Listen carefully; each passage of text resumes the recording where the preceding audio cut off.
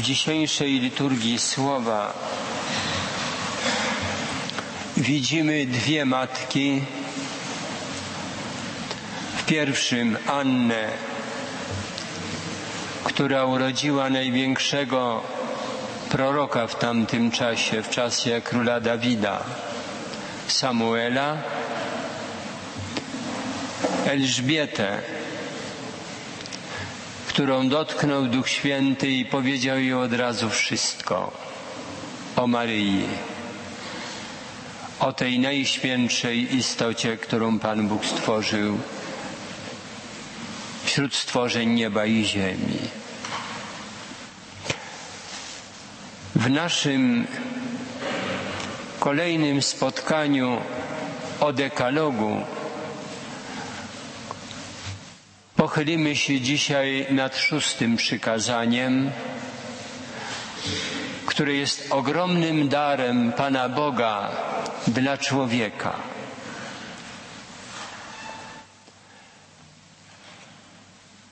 Problem trudności tej dziedziny człowieka przyszedł wtedy, kiedy przyszedł grzech kiedy człowiek został pozbawiony łaski, która go czyniła tak świętym, że absolutnie nie odczuwał problemu zmysłów. Wszystko tam było uporządkowane. On słuchał Pana Boga, niższa natura słuchała Jego ducha, Zwierzęta i cały świat słuchał człowieka. Wszystko jemu było poddane. I w ten piękny Boży porządek nastąpiła tragedia, wyrwa, grzech pierworodny. I ten po, cały porządek się rozsypał. Niższa natura człowieka zbuntowała się wyższej, czuje to rozdarcie. Świat zwierząt, mikrobów zbuntował się człowiekowi i roślin, bo ziemia cię będzie rodziła ciernia, a nie chleb. W pocie czoła go będziesz pożywał i dopracowywał. I to dziedzictwo niesie każde pokolenie ludzi i będzie go niosło do końca świata. Niesie go też i nasze pokolenie. Ale pamiętajmy, problem zmysłów u świata zwierząt jest rozwiązany instynktem. Przychodzi czas, odchodzi i ten porządek tam jest nienaruszalny. U człowieka problem był rozwiązany jego aktem woli i rozumu, a ponieważ to zostało rozsypane, do dzisiaj go będzie odczuwał każdy syn i córka Adama. Ale z drugiej strony pamiętajmy, strona zmysłowa człowieka jest wielkim darem dla każdego człowieka. To jest piękny Boży dar. I tak my na to musimy patrzeć. Tylko, że ten dar człowiek może ponieść komuś, Panu Bogu. Bo uporządkowana atrakcyjność cielesna, cielesności człowieka rodzi przepiękną miłość, ona jest jej z fundamentem. Człowiek, który ten problem uporządkował, zbudował sobie autentyczną osobowość dziecka Bożego, stworzonego na obraz Boży. I tacy przeżywają smak życia, radość życia i dokonują wielkich rzeczy. Kto tego problemu nie rozwiązał, kto ten problem jemu rozsypał osobowość, przegrywa nieraz strasznie boleśnie człowiek, małżeństwo, rodzina, całe społeczeństwa. To historia jest nam świadkiem, jak przegrywały swoją obecność na scenie historii całe wielkie narody, bo nie rozwiązały tego problemu, bo puścili to na wolny rynek. To takim narodem był Wielki Rzym, cesarstwo tyle wieków, kierujący tyloma narodami i mające takie osiągnięcia w tamtych czasach. I polityczne, i gospodarcze, i naukowe, prawo. Prawo rzymskie do dzisiaj jest podstawą prawa, jakimi kierują się narody na całej ziemi. A mimo to musiało ta wielka potęga, ta piękna organizacja pęknąć, bo człowiek nie uporządkował problemu zmysłowości.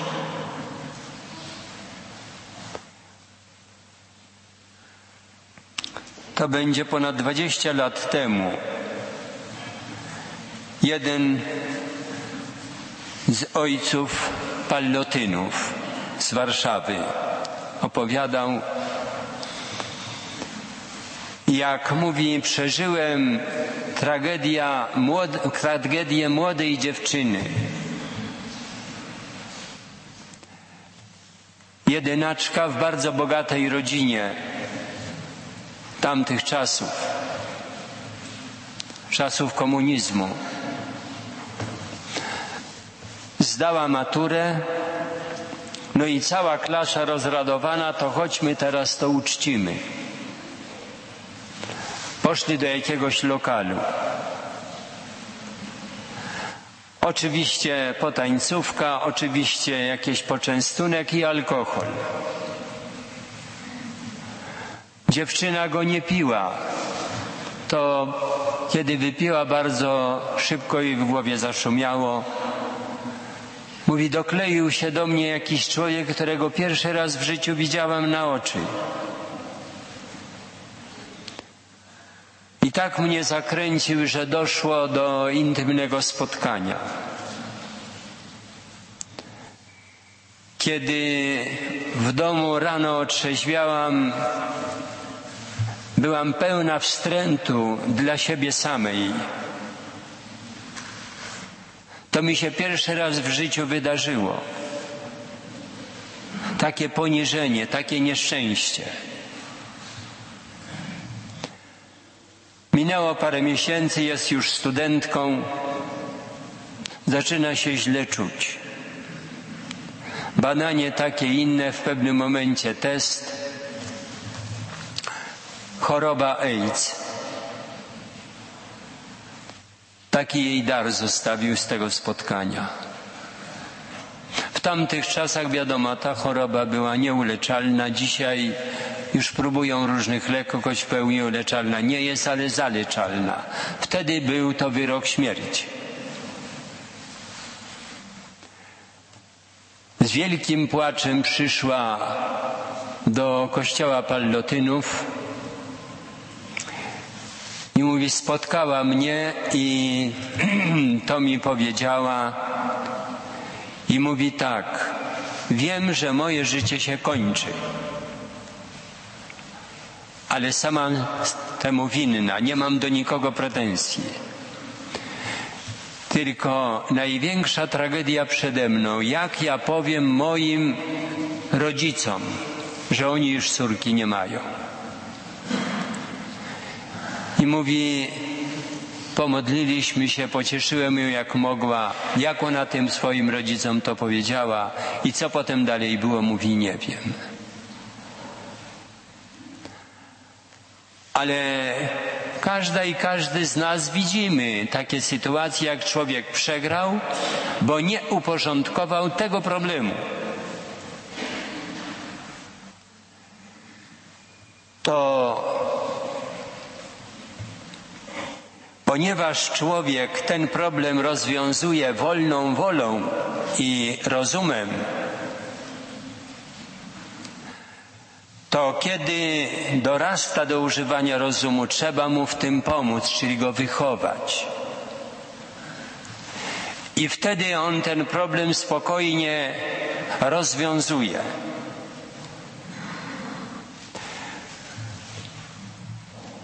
Byłem kilkadziesiąt lat temu proboszczem w Torobinie.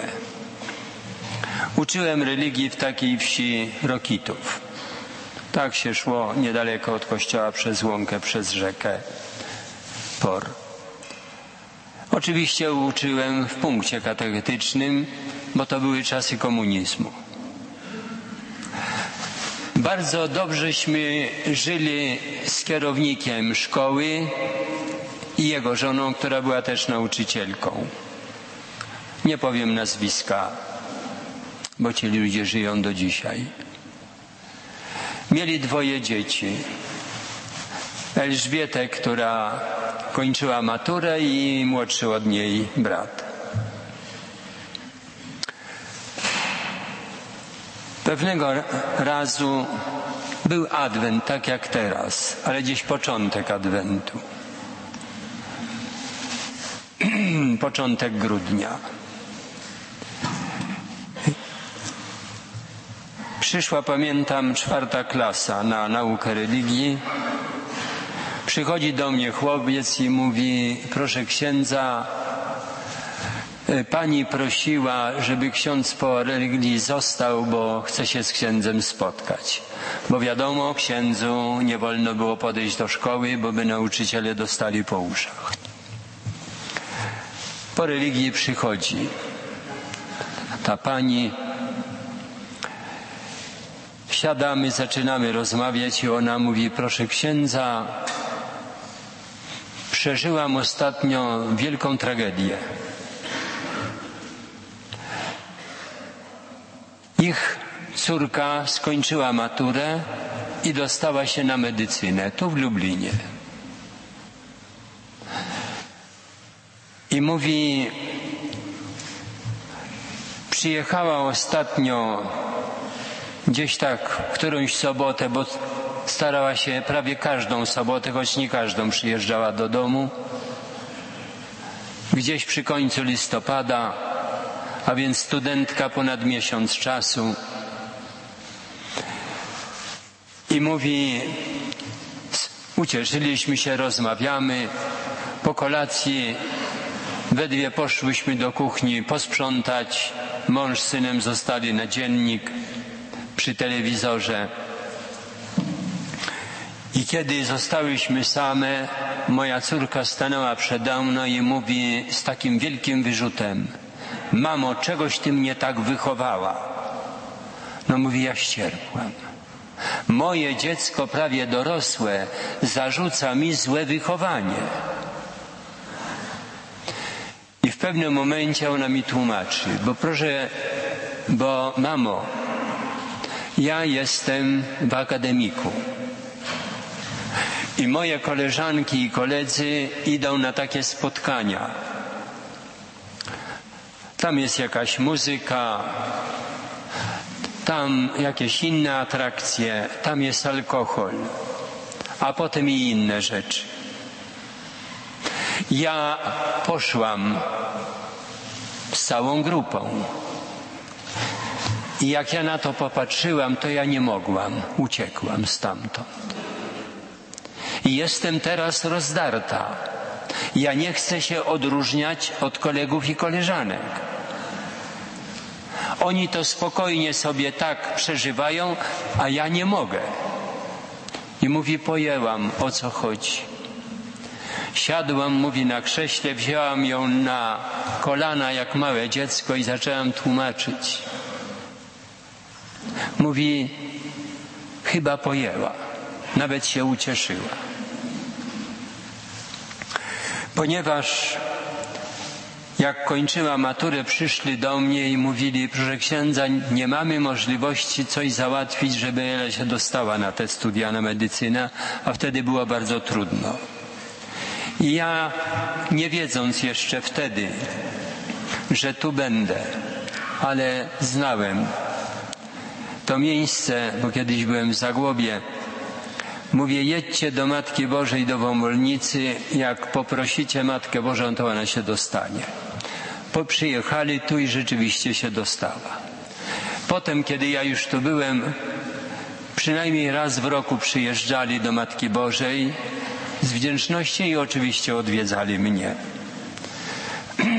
Pewnego roku pamiętam wakacje. Idę tu od kaplicy do bazyliki. Naprzeciw mnie idą. Oni już byli wtedy, e, prawda, e, w Lublinie. I z nimi idzie ich ta córka Elżbieta i jakiś młody człowiek. No, serdecznie się witamy, dawni parafianie, zresztą tak mówię co roku przynajmniej raz. I w pewnym momencie oni mi mówią, proszę księdza, a to nasz nabytek, mąż Eli, nasz zięć. Też skończył medycynę jak Jela i było wesele, pobrali się. Rozmawiamy. Oni parę tygodni po tym ślubie. Patrzę, że Ela jest w niebo wzięta, zapatrzona jak w obrazek, w męża, a on w nią. I w pewnym momencie ja tak bezwiednie nie zastanowiłem się, co to, co powiem.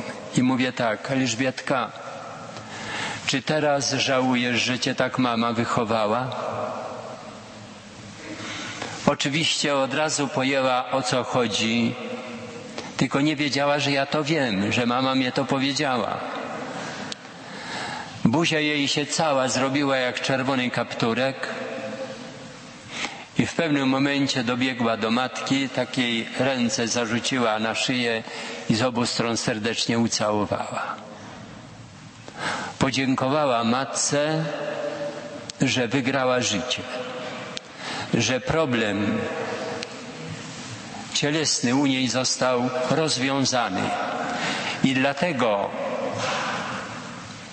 tak mogli się sobą cieszyć, bo ten dar ogromnie cieszy w autentycznym, normalnym małżeństwie. Tak go Pan Bóg ustawił. A z nim jest związane to przepiękne i wielkie owoc miłości dziecko przecież. Wszystko inne w oczach Bożych jest wykroczeniem, jest złem, jest grzechem.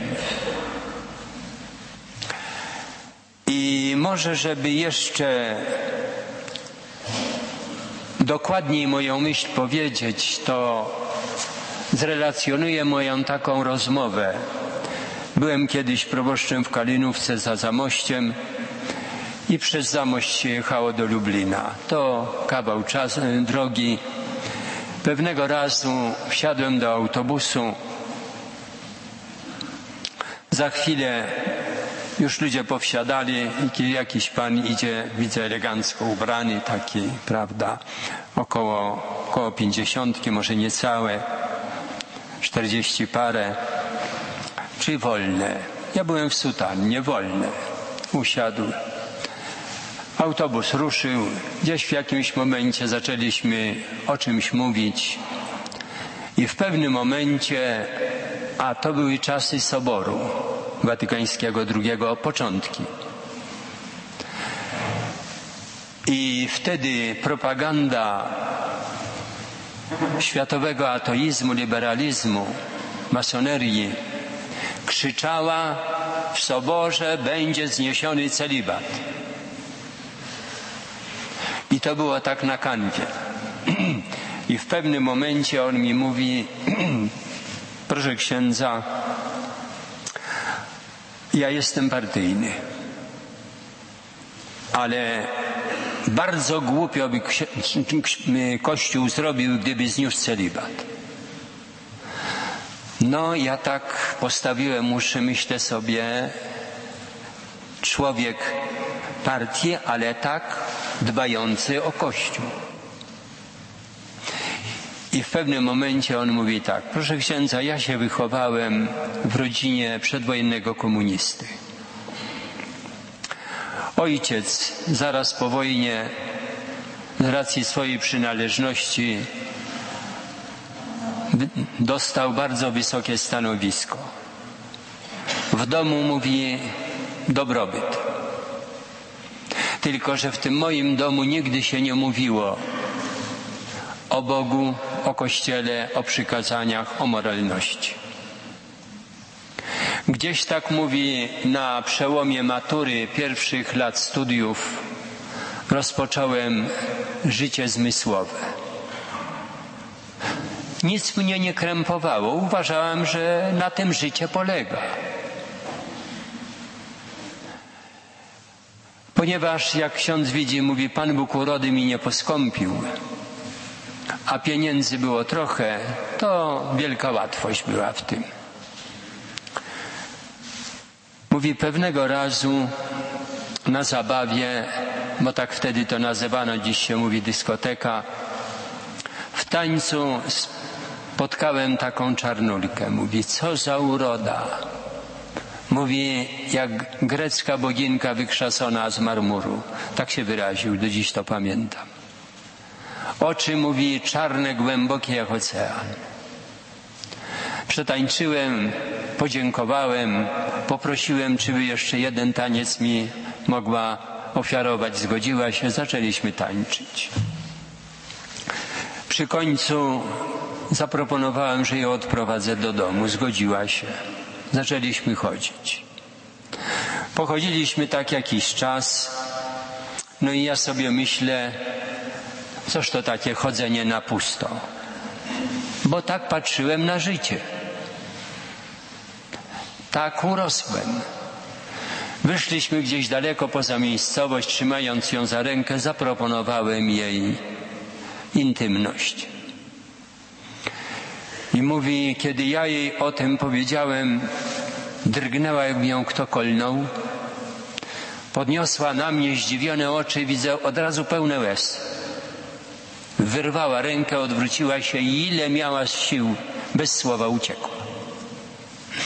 Jak ja się czułem upokorzony, ja taki lew salonowy, żeby mnie taka koza tak podraktowała. A myślę sobie, leć, kozo ja i tak na pęczki będę miał innych. Minął jakiś czas, a ja zrozumiałem, że przynajmniej raz jeszcze w życiu ja ją muszę zobaczyć. Ja się pierwszy raz w życiu autentycznie zakochałem. Mówi, sporo mnie kosztowało na wino i czekolady w tamtych czasach. Innych alkoholów młodzież nie piła.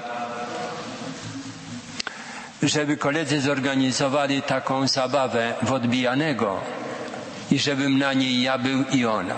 Zorganizowali. W pewnym momencie w tym odbijanym w tańcuśmy się spotkali, mówi. Tańczyłem jak kot koło gorącego mleka, mówi.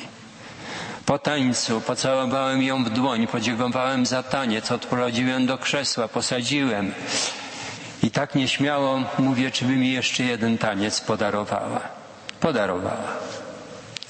I znówśmy zaczęli tańczyć, a potem mówi przy końcu, tak się wiłem jak piskosz, jak jej zaproponować, że ja chcę odprowadzić, żeby mnie nie odpaliła.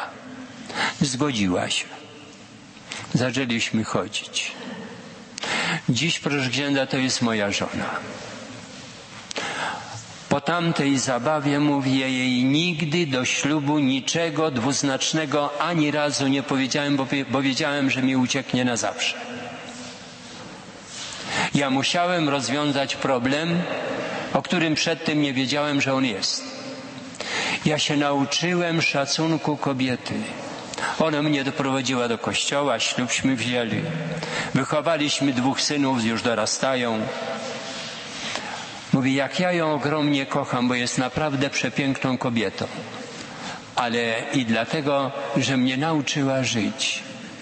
I dlatego ja tak trzeźwo, mądrze patrzę na życie. Pamiętajmy, Pan Jezus, kiedy przyszedł na świat, powiedział: Nie przyszedłem znieść dekalogu, ale go udoskonalić. I w tym udoskonaleniu Pan Jezus powiedział: Błogosławieni czystego serca, w błogosławieństwach, bo Boga oglądać będą. To Pan Jezus te osiągnięcia tu i teraz rozwiązania problemu dopełnił taką przepiękną nagrodą, najwyższą, niepojętą, bo Boga będą oglądać. I jakby dopowiedzenie w naszych czasach. 13 lipca w 1917 roku w kolejnym objawieniu w Fatimie przyszły dzieci na miejsce, z nimi już ogromna rzesza ludzi. Uklękły, zaczynają różaniec, w pewnym momencie ekstaza. Ludzie wiedzą, Matka Boża jest. Dzieci zobaczyły Matkę Bożą. W pewnym momencie, jak Jutucja potem opowiadała, Matka Boża rozłożyła dłonie. Z obu dłoni w ziemię uderzyły promienie, ale mówi ileś tam dziesiątków razy jaśniejsze niż słońce. I ziemia stała się przezroczysta jak szkło. I zobaczyliśmy taką rzeczywistość, w której od razu nam w żyłach krew zastanęła. Z ogromnego przerażenia. To było kilka sekund.